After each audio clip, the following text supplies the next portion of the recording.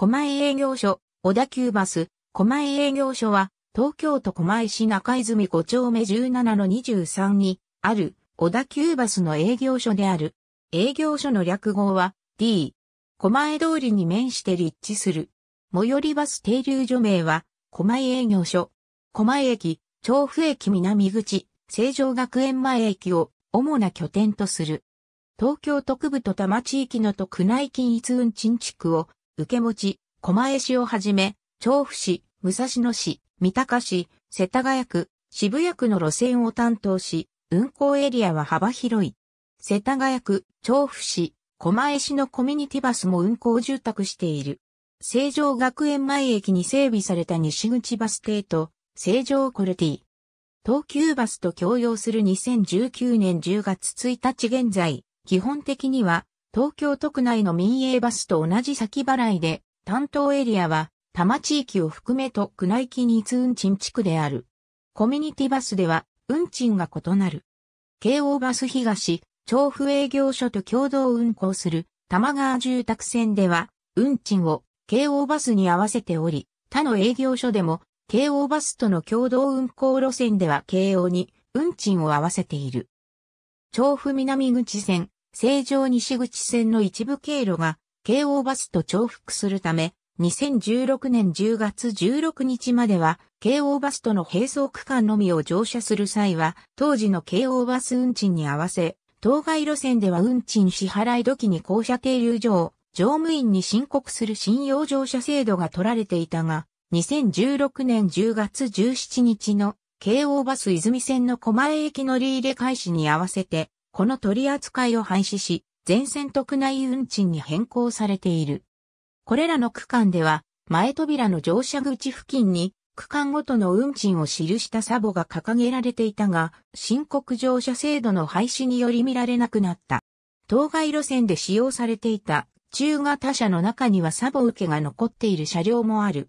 渋谷道玄坂を登る渋24系統道玄坂、玉川通り、世田谷通りを経由し、渋谷と成城学園前を結ぶ。1951年に、それまで東京急行電鉄が単独運行していた路線に、新規参入、狛江営業所開所と同時に、若林営業所から移管された。東京農業大学、昭和女子大学、日本大学小学部への通学輸送、国立生育医療研究センター、関東中央病院、東邦大学大橋病院などへの病院輸送、世田谷区桜ヶ丘の地域輸送など多くの役割を持ち、日中は小田急と東急が交互に7分30秒間隔で運転される。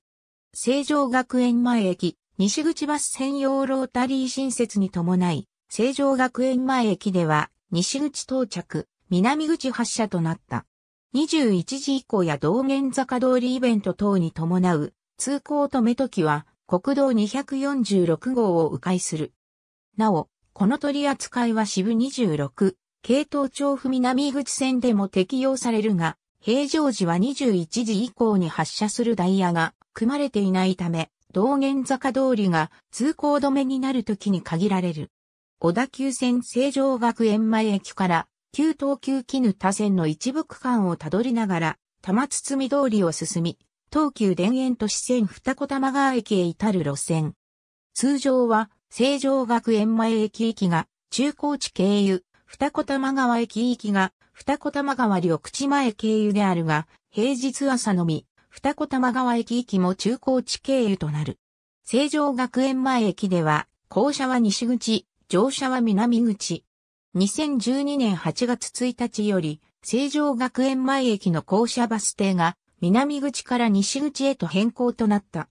沿線には東京都市大学附属中学、高校のほか、都立世田谷総合高校、科学技術学園があり、それら学校への通学輸送の役割が重い。また、成城学園前駅から駒沢大学玉川キャンパスへ向かう学生の需要もある。また小田急線と東急田園都市線、大井町線の急行停車駅同士を結ぶ鉄道を短絡輸送、東急木の田線が廃止になった世田谷区蒲田の地域輸送、小田急沿線から高島や玉川店、二子玉川ライズへの買い物客、楽天クリムゾンハウスへの通勤輸送、成城地区から二子玉川駅発着の空港リムジンバス接続など多彩な役割を持ち、この地域に欠かせない生活路線となっている。玉川花火大会など、二子玉川駅周辺のイベント等に伴う交通規制時は、二子玉川もしくは吉沢折り返しとなり、臨時バス停が設置される。渋26系統。2014年より大幅減便された調布駅から品川通り、狛江通り、世田谷通りを経て渋谷駅及び二子玉川駅に至る路線。1977年3月30日までは東急との共同運行、また戦前は東急の系譜に連なる事業者の路線で、多摩08は国領駅発着だった。以前は日中は30分おきに渋26と多摩08が運行されており、並行する調布駅南口絹田、中学校下間では4本、時の運行となっていたが、沿線にあった重機本社工場の移転により、通勤客が減ったため、2014年3月1日のダイヤ改正で渋26が減便。平日は朝夕と休日は日中に1本、時の運行になった。この改正に伴い、調布駅南口狛江駅北口の便が日中にも設定されるようになり、調布駅南口狛江駅北口はこれまで通り4本、字であるものの、狛江駅北口絹田中学校下は2から3本、字になっている。玉08は以前は、二子玉川駅付近で終日にわたり、二子玉川駅行きは、二子玉川緑地前、調布駅、南口行きは、中高地を経由していたが、東急バスと同様に平日の朝ラッシュ時の二子玉川駅行きが中高地を経由するようになった。2011年4月1日、絹田農協前停留所は、絹田中学校下に、重機前停留所は、国領八丁目にそれぞれ解消された。かつては、乗車区間により、運賃が異なったため、入り口付近に運賃を示すサボが掲示されていた泉線は、小田急線成城学園前駅から、京王線仙川駅入り口を経由し京王線、調布駅、小田急線狛江駅を結ぶ路線。仙川、成城付近の共愛路に対応するため、中型車両で運行される。小田急線京王線をショートカットするほか、東方学園大学、都立総合工科高校、都立神大高校、ドルトン東京学園など沿線に団地、学校、病院が点在し、利用客が多い。聖霊後の泉狛江消防署バス停は、交差点の関係で、狛江駅北口行きのみのバス停となる。神大団地線は、途中で分岐して NTT 中央研修センターを経由し、京王線つつじが丘駅まで至る路線。NTT 中央研修センターに隣接するドルトン、東京学園の入学試験など、イベント時には、成城学園前駅西口 NTT 中央研修センター間での増発があり、NTT 研修センター敷地内での乗降となる。2012年9月9日より、成城学園前駅の乗車及び降車が北口から西口へと変更され、成城一番バス停の仙川方面バス停は廃止となった。2013年1月16日のダイヤ改正で、朝ラッシュ時の混雑緩和のため、成城学園前駅、西口始発の直行線川駅、入口行きが新設された。平日朝1本のみの運行で、途中バス停での乗降は、不可、通常の聖04、聖05の乗り場ではなく、聖01の乗り場から発車する。2016年10月17日のダイヤ改正で、聖01が神大団地から京王線つつじが丘駅南口まで延伸された。同時に NTT 中央研修センターへの直行便も新設されている。このダイヤ改正で、聖霊後の乗り場が1番乗り場から0番乗り場に変更となった。聖霊には戦前に京王電気軌道が開設した祖師ヶ谷大倉千歳烏山の路線を源流とし、大東急解体時の路線調整で一度は東京急行に渡り、さらに小田急バスに移管されたもの。1966年までにルート変更が行われて、現在の形となる。成城学園と千歳烏山を結ぶメインルートで、かつては千歳烏山駅から吉祥寺営業所の烏山線に乗り入れて、岩崎学生寮や下元塾まで足を伸ばしていたが、下元塾折り返し所が東八道路各福の関係で廃止になったため千歳烏山駅北口で打ち切りとなり、烏山線へは乗り換えが必要になった。なお現在では、千歳烏山折り返し場を使用することはなく、旧甲州街道と国道20号を使いバスを展開させている。聖06は、世田谷区の公式サイトでは、コミュニティバス、南北路線として扱われている。青山街道の榎木交差点から千歳烏山駅方向へ一直線に伸びる通称、発見道路の完成、供用開始に伴い、1999年にこの区間を経由するバス路線開設について調査するため社会実験が行われ、2001年より正式運行された。千歳烏山駅と成城学園駅とを結ぶ最短ルートであり、所要時間も安定しているため、聖霊2に代わってメインルートとなった。開業にあたり専用車両として、小田急バスでは初となる小型 CNG バスが導入された。燃料が長持ちしないことと専用車両の台数が少ないため30から40分間隔だったが、その後20分間隔に増便され、中型車で運行されている。都市20、都市21は、成城学園土地と千歳船橋を結ぶ路線。早朝、ユーラッシュ以降は、環状8号線沿いにある、成城警察署を経由しない便となる。千歳船橋駅では、他の路線とは異なり、千歳船橋折り返し場を使用している。出入庫は上祖師ヶ谷4丁目まで、その他の系統は、成城学園退場、祖師ヶ谷4丁目、えのき交差点まで、同じ経路を通る。狛江市南部地域、世田谷区、北見西南部地域の住宅地と小田急線狛江駅、泉玉川駅を結ぶ。1978年の開通で、当初は狛江までの路線だったが後に、北見住宅まで延伸された。1999年に、泉玉川駅前の再開発により、駅前ロータリーが完成し、乗り入れるようになる。2003年3月30日運行開始。世田谷区の公式サイトでは、コミュニティバス、うなね地区路線として扱われている。狛江駅から新玉水道道路を経由して、世田谷区、北南部、うなね地区を結んでいる。終点のうなねバス停付近には、東急バスのうなね線のうなね一丁目バス停がある。また、水道道路を二子玉川方向に向かって進めば、双子線の蒲田バス停付近まで歩くことができる。同じく、世田谷区のコミュニティバスとして扱われる東急バス、うなに線と同様、通過車両の重量に制限のある水道道路を経由するため、小型車で運行されており、開業当初は三菱不走、エアロミディ ME が使用されていたが、日のポンチョに代替され、初代車両は、上りと営業所へ転属し貸し切り登録となっている。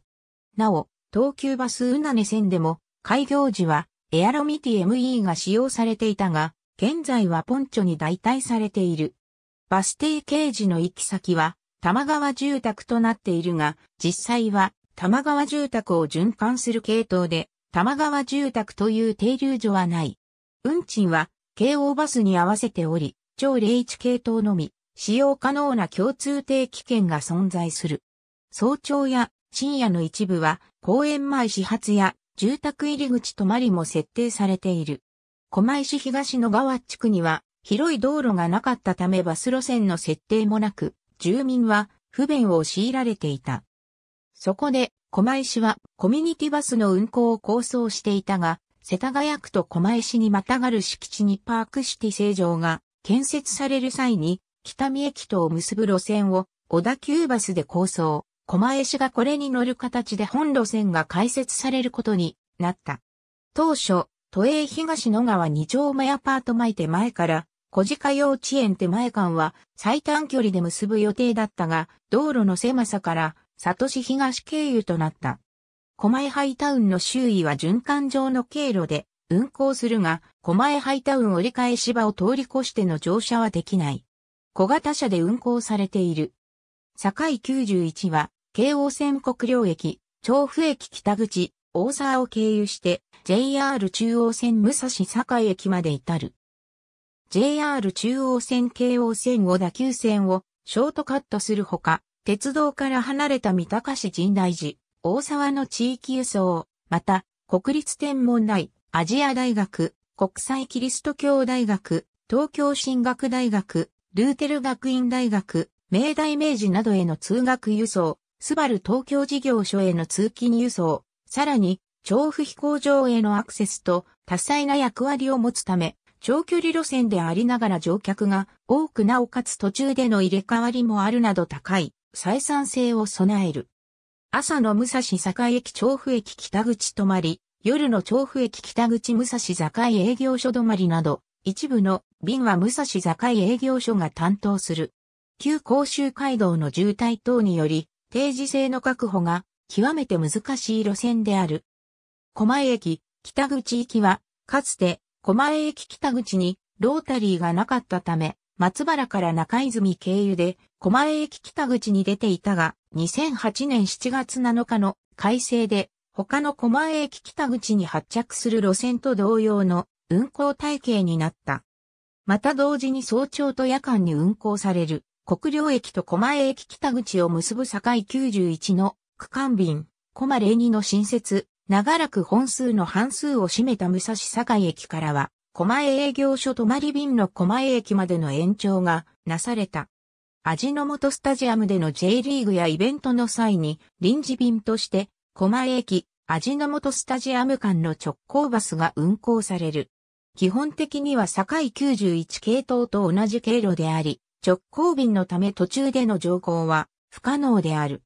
狛01は、慈恵医大第三病院から狛江駅を経由し、玉川住宅へ至る路線。慈恵医大第三病院では、病院の構内にて折り返す。深夜早朝は、狛江駅北口、夜間は、狛江営業所にて折り返しとなる。超31は、調布駅から神代植物公園、大沢コミュニティセンターを経由して、調布駅へ戻る循環路線。夜間のみの運行で、平日、土曜に深夜バスが3便ある。利用者が多い植物公園付近、天文台付近のバス停利用者に対する堺91、高56両系統及び吉祥寺営業所の調布線の終バスの役割を果たす。堺91と同様に、武蔵境と共感。小型車で運行されている。距離の割には、走行環境がとても悪く、渋滞のため、遅れが出やすい。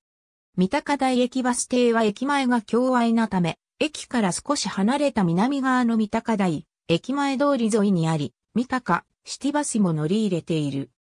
超40は、2014年7月1日に武蔵境、営業所から移管された路線で、調布駅から富士見町3丁目、後藤坂下、大沢コミュニティセンターを経由し調布飛行場へ向かう路線。武蔵境時代は朝、夕にわずかな本数が運行されるのみだったが、狛江営業所以下に伴い本数が大きく増え、日中におよそ40分間隔で運転されるようになった。原則として、午前は中型車、午後は小型車での運行となる。調布市ミニバス東路線、緑が丘循環狛江市、コミュニティバス、狛バスここに挙げたもの以外にも、世田谷区、コミュニティバスとして扱われている路線が存在する。一覧は、世田谷区公式サイト、世田谷区のコミュニティバスを参照。狛江営業所管内では、コミュニティバス南北路線、コミュニティバス、うなね地区路線がある。調布市のコミュニティバス。京王バス東、調布営業所が担当する西路線、北路線が運行されていたが、2003年4月1日に仙川駅を発着する東路線が開業し、小田急バスが調布市ミニバスに参入した。ゲゲゲの北郎ラッピングの専用バスが仙川駅近くの緑が丘地区を循環する。沿線に緑が丘団地があるため利用者は多い。北郎のラッピングが最初に施されたのは、小田急バスの銀色の初代車両であったが、車両代替により、能力色のポンチョに代替されている。二代目車両のポンチョは内装にも、北郎のキャラクターが描かれている。狛江市のコミュニティバス。狛バスの名称は、狛江の街をきめ細かく回ることから命名された。市が運営していた福祉バスに代わり、2008年11月24日に運行が開始された。南北各ルートとも一周あたりの所要時間は約80分、運行間隔は約40分に1便、1日の運行便数は22便となっている。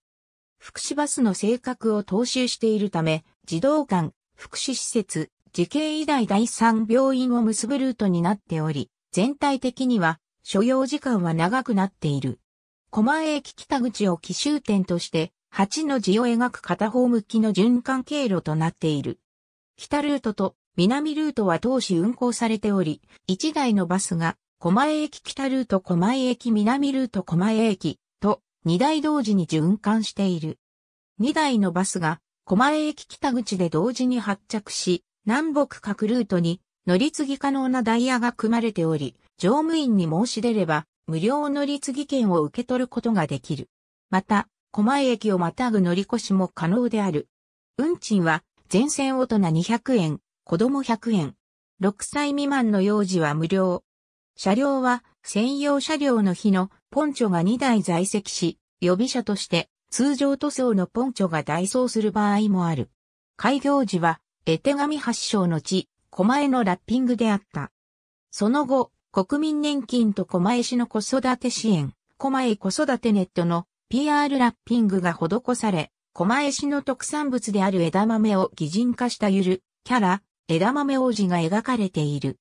また、狛江市の公式サイトでは、狛バス専用車2台と、小田急バスカラーの予備車も含め、バスそのものに、北駒、南駒、赤白と、キャラクター設定がされている。2015年12月1日より、狛江駅北口の狛バス乗り場が変更。それに伴い、東営業所が管轄する狛江駅北口発着の一般路線バスも乗り場が変更されている。大型車と中型車は、いすゞ自動車製と三菱不走製が、小型車は、日野自動車製が在籍している。小田急バスの営業所の中では、三菱不走車の割合が比較的高い。近年では、大型車は三菱不走製、エアロスター、中型車は、イスズ製エルガミオ、小型車は、日野自動車製と、車両のサイズに応じて製造メーカーや車種を選択する傾向がある。また小田急バスの他の営業所と同様、イスズ製の大型車、エルガも多数導入されている。かつては三菱不走製の小型車も在籍していた。三菱不走、エアロミニ MJ ノンステップが在籍し、2001年の世田谷区コミュニティバス南北路線開業時には、小田急バスで初となる CNG 車が2台導入された。CNG 改造はフラットフィールドによる。また MJ のディーゼル車も7メートル車、9メートル車が各2台在籍していた。その後、MJ は全車除籍されている。三菱不走、エアロミディエムリーも在籍しており、2003年開業の世田谷区コミュニティバス、狛江うなね線などで使用されていた。調布市ミニバス東路線では CNG 車を採用、専用車としてゲゲゲの鬼太郎ラッピングを施されていたが、町田営業所への転属後にラッピング解除されている。その後、エアロミディ ME は上りと営業所へ転属し貸し切り登録となっている。2006年、三菱不走製の中型車エアロミディ MK、ノンステップが3台導入された。小田急バスでは、狛江営業所のみで見られる車種である。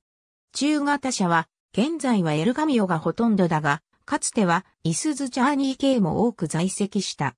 日野自動車製の小型車は、2008年のコマバス、開業時より、日野、ポンチョが、導入開始され、日の DS への導入例はない。2013年にはハイブリッド車として小田急バスでは初となるイスズエルガハイブリッドが2台導入された。エルガハイブリッドの車番は通常のイスズ大型車の旧番台ではなく、かつてイスズの高出力車に付与されていた7番台が付与されている。